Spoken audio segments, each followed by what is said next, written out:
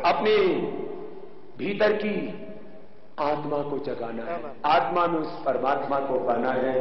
भाई बहनों आज एक बात तो योग से अपने आप को सशक्त और मज़बूत बनाना है और दूसरी बात बस ये अंतिम चार पाँच लाइन बोल के आज अपनी बात खत्म करूँगा। हमने अपने आप को बचाना है। आठ से सोलह घंटा सबको काम करना है। हम सब देशभक्त राष्ट्रभक्त भारतीय हैं ना? तो हमारी देशभक्ति का प्रमाण क्या है? सब राष्ट्र की सेवा करना चाहते हैं ना?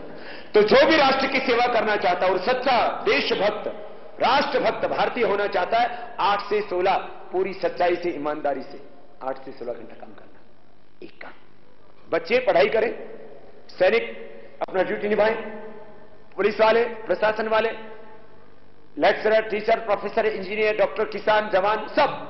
आठ से सोलह सबको काम करना है तो ये आपकी देशभक्ति है। दूसरा क्वालिटी पॉपुलेशन को इंक्रीज करना है। इतने बच्चे पैदा करो, सबकी ज़िंदगी में मौका आएगा। इतने बच्चे पैदा करने, जितनों को अच्छे से हम देखभाल कर सके, ठीक से पढ़ा सके, पढ़ने के बाद नौकरी दे सके, उनको स्टेब्लिश कर सके। तीसरा काम, गंदगी नहीं फैलाना। चौथा काम, बीमार नहीं होना। बीमार और कमज़ोर लोग देश पर भार होते बीमार हो गए तो मौसम भी सताएगा। बीमार हो गए देखो, कमज़ोर हो गए तो आप धरती पर गौरव के साथ नहीं जी सकते। तो सबको स्वस्थ रह करके जीना है। रोगियों की सेवा करनी है। योग करके रोगियों की सेवा करनी है। योग करके हमको गरीबों की सेवा करनी है। हाँ खुद को औरों को कराओ। और जो नशा कर रहे हैं, निराशा में जी रहे हैं, जिनके भीतर नकारात्मकता है, बहुत ज़्यादा नेगेटिविटी है, निराशा, आत्मग्लानी, उनको भी योग सिखाना है। और अंतिम बात गलत बात का विरोध भी करना है। हम खुद को भी बचाएँगे, देश को भी बचाएँगे, सच्चे भारतीय होने का धर्म निभाएँगे, और जहाँ जहाँ समाज में अंधेरा है उसको भी मिटाएँगे। हमने पूरे देश में एक अभियान शुरू किया हुआ है, रोग मुक्त भारत। और दूसरा अभियान, भ्रष्टाचार और काले धन की अर्थव्यवस्था से मुक्त भारत।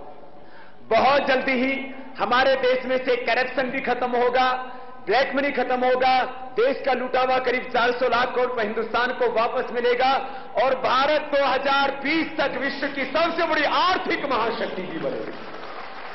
और जब भारत के पास में इतनी समृद्धि इतनी दौलत होगी तो ये खंड खंड हुआ भारत भी दोबारा अखंड बनेगा। हाँ, अभी तो चीन जो बोलता है ना कि तवांग तो हमारा है ये अरुणाचल हमारा है ऐसी बात करता है हम चीन से कह देना चाहते हैं, ये कैलाश और मान सरोवर हमारा है और ये तिब्बत भी तुम्हारा नहीं है। तिब्बत के ऊपर ज़ोर ज़बरदस्ती कब्जा करके मैंने बोला, हम चीन से कह देना चाहते हैं, तुम अरुणाचल के ऊपर निगाह टिकाने वाले, तवांग को अपना कहने वाले, चीन वालों अरुणाचल को और तवांग को अपने नक्शे में दिखाने वाला चीन, याद करे कि ये कैलाश और मान सरोवर हमारा है। हमें वक्त लग सकता है, लेकिन कैलाश और मान सरोवर भी हम लेकर के रहेंगे वापस। और अरुणाचल और तवांग को अपना कहने वाला चीन, ये भूल जाता है कि तिब्बत के ऊपर भी उसने ज़ोर ज़बरदस्ती करके, उसने तानाशाही करके एक दुनिया के सबसे आध्यात्मिक देश को ज़बरदस्ती से अपने नियंत्रण में लिया हुआ है। भारत का प्रधानमंत्री है पूज्य दलाई लामा जी जब तवांग में आते हैं तो चीन कहता उनको नहीं जाना चाहिए, विवादित है तवांग। हम कहना चाहते तवांग विवादित नहीं है, तिब्बत विवादित है। जब तक तिब्बत को स्वतंत्र नहीं किया जाता है, तब तक चीन के प्रधानमंत्री, राष्ट्रपति या किसी भी राजनेता को तिब्बत में नहीं जाना चाहिए। चीन को बात चीन की नहीं है, बात किसी भी देश के स्वाभिमान की है। और मुझे एक बात से और गर्व होता है, जब भी चीन कोई बात अरुणाचल और तवांग के बारे में कहता है तो केंद्र सरकार से पहले तवांग वाले और अरुणाचल वाले ही चीन को जवाब दे देते हैं। केंद्र सरकार का जवाब बाद में आता है, तवांग वालों का और अरुणाचल वालों का जवाब चीन को पहले मिल जाता है। आपकी इस बहादुरी के लिए, मैं आपको सलाम करता हूँ। इतना देशभक्ति का जज्बा आप में, और मैं एक बात ये कह रहा था, ये 400 लाख करोड़ रुपए जब हिंदुस्तान को वापस मिलेगा, आगे से लूट बंद हो जाएगी, इतनी संपत्ति होगी, हम भूटान की भी मदद करेंगे, वर्मा की भी मदद करेंगे, बांग्लादेश की मदद करेंगे, हम नेपाल की और ज़्यादा मदद करेंगे, हम मदद करेंगे श्रीलंका की और मदद करेंगे हम पाकिस्तान और अफ़गानिस्तान की। हम अपनी आँखों के सामने वो सपना देखना चाहते हैं कि अफ़गानिस्तान से लेकर के और इधर कैलाश मान सरोवर तक और इधर वर्मा तक ये पूरा खंड खंड हुआ भारत। दोबारा से अखंड होगा और हम कह सकेंगे हमने अपने खंड खंड हुए भारत को दोबारा से अखंड कर दिया है बोले खंड भारत की दोनों हाथ उठा करके भारत माता की वंदे वंदे First of all, I would like to offer my warm Tashidilik and welcome to you on your visit to this border Man town. It is a well-known fact that you have been healing millions of people all over the world through yoga. You have brought back the ancient art of yoga to life and made it relevant in today's world, thus benefiting a countless number of human lives, for which I am immensely grateful to you because the most genuine service of religion is to serve humanity and put efforts of dispel their sufferings. As a Buddhist, we also believe in the constituency of human body. We, the balanced assemblage of the five elements of nature. Yoga emphasizes on maintaining that delicate balance to stay healthy physically and mentally, which is completely attuned to Buddhism as well.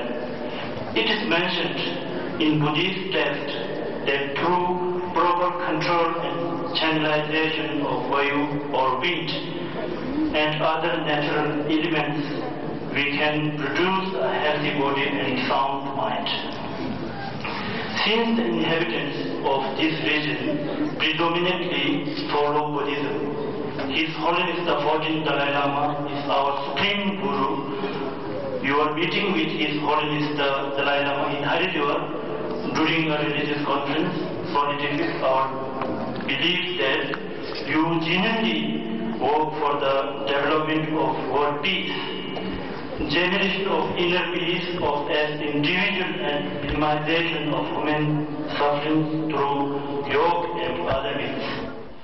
कलावंग पो conventional centre में उपस्थित लोगों को प्रेरणादायी उद्बोधन देने के पश्चात स्वामी रामदेव जी तवांग से गुवाहाटी हेलीकॉप्टर से और गुवाहाटी से सड़क मार्ग होते हुए रात्रि दो बजे असम के उत्तर लखीमपुर पहुँचे, जहाँ स्वामी जी ने आज प्रातःकाल योग शिविर में लोगों को योग की दीक्षा देने के साथ साथ सबको एक आदर्श नागरिक बनने के लिए प्रेरित किया। आज आपको वतन के लिए कुछ संकल्प लेके जाना है।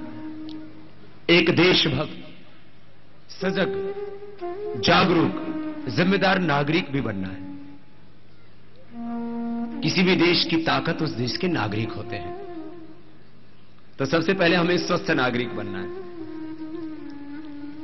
आज आपको पाँच व्रत हम देंगे।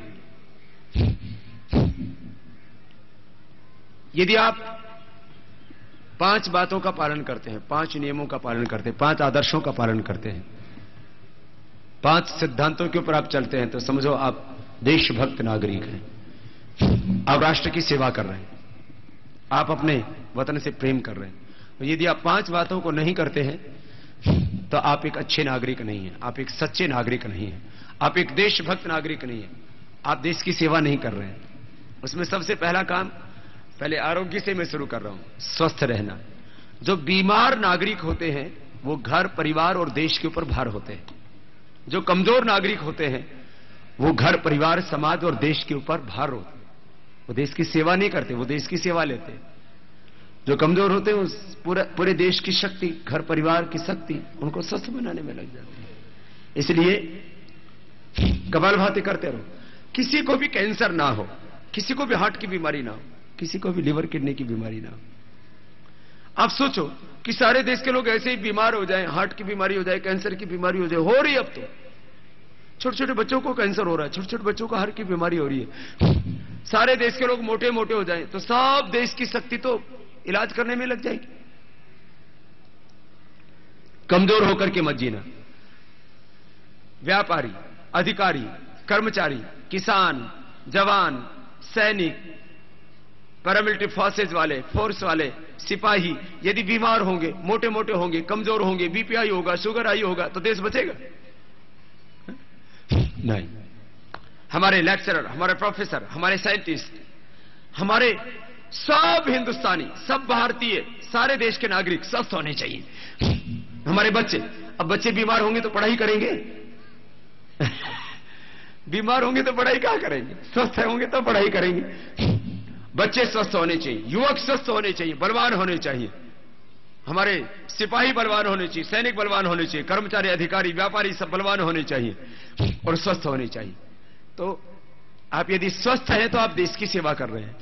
यदि आप बीमार हैं तो देश के ऊपर, घर परिवार के ऊपर भार है आप। एक परिवार में एक भी व्यक्ति को लीवर की कोई सीरियस प्रॉब्लम हो जाए, किडनी की या हार्ट की या कैंसर की तो पूरे, पूरा परिवार तबाह हो जाता, बर्बाद हो जाता, पूरा परिवार नर्क बन जाता, दुखी हो जाता। सारे परिवार की शक्ति उसी को ठीक करने में लग जाती है और सबकी आँखों में आँसू होता है। तो आप घर, परिवार, समाज और राष्ट्र को क्या बिलखता हुआ तड़पता हुआ, रोता हुआ देखना चाहते हैं? खुश देखना चाहते हैं। यदि खुश देखना चाहते हैं तो स्वस्थ रहो। बीमार नहीं रहना। खुद स्वस्थ रहना।